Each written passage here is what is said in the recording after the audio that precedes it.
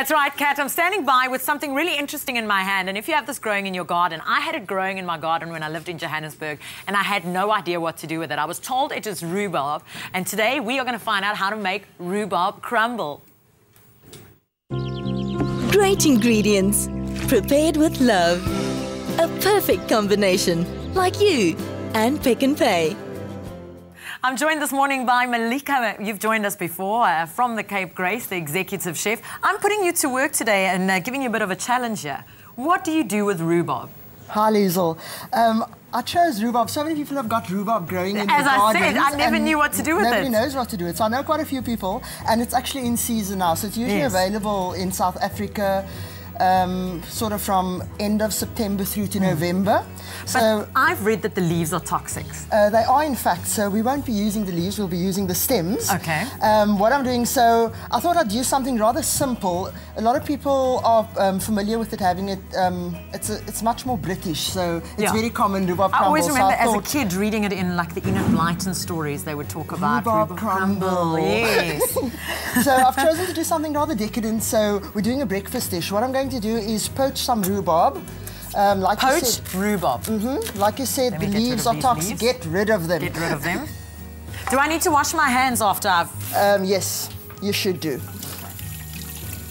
So what I'm going to do is poach some of the rhubarb, and then I'm also going to do um, a rhubarb compote, a rhubarb and strawberry compote. Okay, So and the I've other ingredients that we need? Mm-hmm. I see you've got cranberry I've got juice. cranberry juice. So what we're going to do is just place those little stalks, pour over the cranberry juice. and cranberry juice is great because it's got no artificial colorants. It's one of the few juices that is just plain and left the way it is. So. And it's isn't that ideal. just gorgeous? It's a gorgeous ruby red. So that's going to be covered and then just poached in the oven at 130 degrees for about 15 minutes. And then what I'm going to do with the rest of it is make a compote. Um, and ideally serve it for a gorgeous, decadent Sunday morning breakfast. Um, the rhubarb stems actually contains loads of moisture, so you don't need any liquid. You don't need to add any liquid to It it. looks a lot like a celery, hey? It does indeed, yes. But I, It's I, easily thought, I did my mistaken. research about rhubarb because I, I had it growing in my garden. I never used it in Joburg. I'm a bit disappointed because you can actually regrow it. I should have brought some stems back to grow. Yeah, it's quite a eh? hardy plant. And I, I thought it was a vegetable and it's actually a fruit, but there's some debate going on about that. Uh-huh. It was considered a vegetable for a very long time until it was ruled in an American court that it should actually be a fruit, and it's now officially a fruit. And in South Africa, it's a fruit. It's a fruit. Why do we let the Americans decide what our fruits must be? They always seem to know better. That's, that's such an interesting fact. Mm-hmm. So we're having a fruity breakfast. we are indeed. And it's a root, so I would assume that a rooty plant would be uh, a veggie. But you learn something mm-hmm. new every day. Absolutely, don't you just? Hmm. Mm-hmm. So, So what I'm going to do is just add a little bit of caster sugar to that. No liquid at all. Why are you And adding the on- caster sugar? Is there any reason? 'Cause Whenever I see strawberries, I always think caster sugar.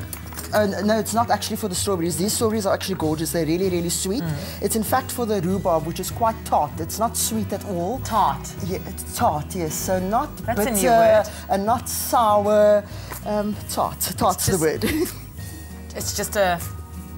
I, I can't even think of another explanation. Not bitter or sour. It's not just bitter there. or sour. It's like yes, a but, celery. uh, yeah, not all that pleasant. So it needs a little bit of sugar. Can I taste it on its own, or The rhubarb. yeah? Um, I don't think you're going to love it. Rather stick to a celery stick then Is in that case. So you, you've got to cook it. Okay. Okay, so what I've got in here for the crumble, which we're going to put on the top, um, equal amounts of butter, um, flour, equal amounts of butter and flour, and then just a dash of sugar to sweeten it up ever so slightly. Um, so that's going to be the crumble, and we're going to add muesli to that. Like I said, it's going to it's it's going to be a, a breakfast. Yeah. And then we've got the recipe here, which we can send to your mobile phone, 33728, with the word it's on your screen right now, and you can get the ingredients sent to your mobile phone. What are we adding? I'm adding the muesli, Okay. and that's just How much muesli to- did you add? Um, you want the mixture to be quite dry and crumbly, and what you're going to do is bake that in the oven Hmm. Yeah. after. So our magic word today is crumble, crumble, 33728, and the ingredients will be sent to your mobile phone. That looks gorgeous. I feel useless. I'm not doing anything today. I'll, I'll put you to work soon enough. And don't tell me you're going to make me wash the dishes because that's not making me work. I really do that after the show. Yeah, I know. She's really great. She is. Because we've cooked together a few times already. Okay, so that's pretty much the crumble. Hmm. So you don't want it too sticky. You want it rather lumpy. Very nice.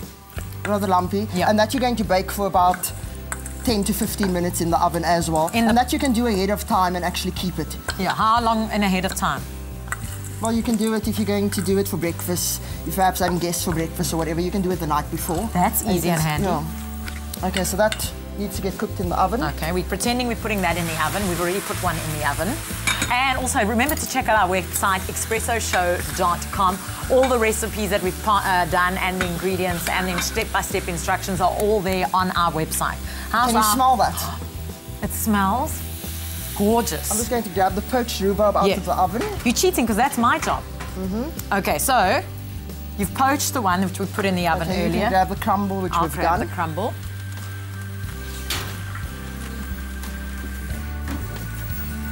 And the nice thing is if you buy all your ingredients uh, at Pick n Pay, you get your points on your Smart Shopper card.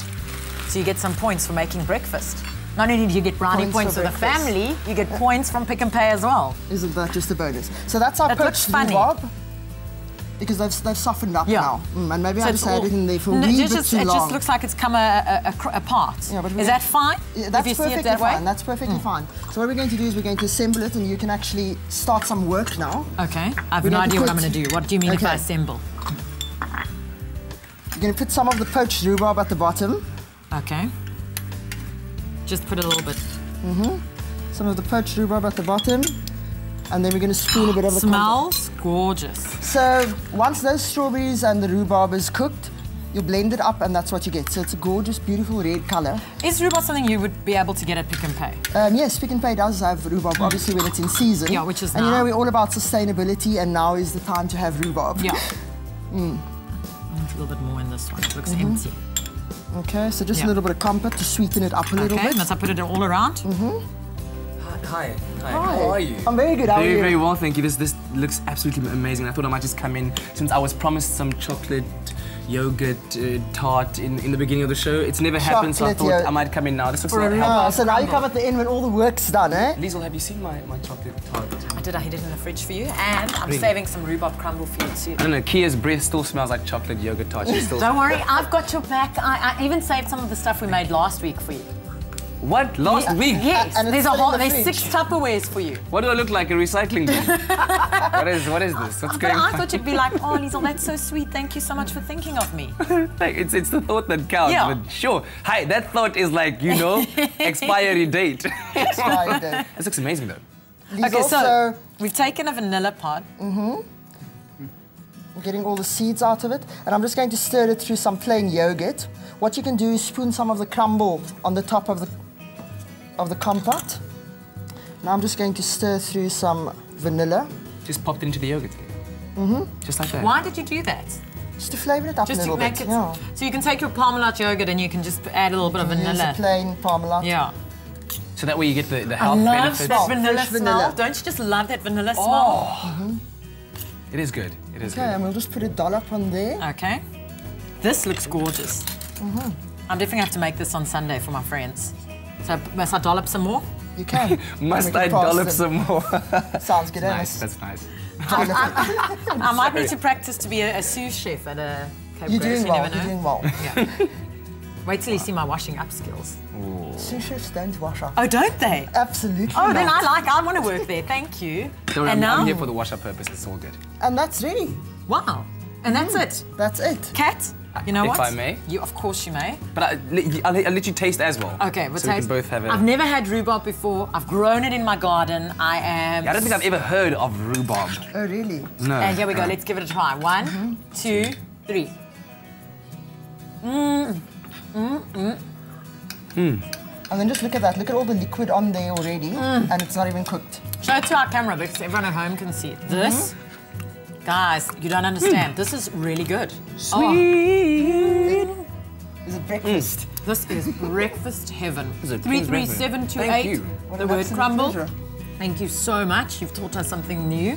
So I hope you're going to use Kia. your rhubarb I'm going to use now. my rhubarb. I'll catch you after the break. Stay with Expresso and SABC3.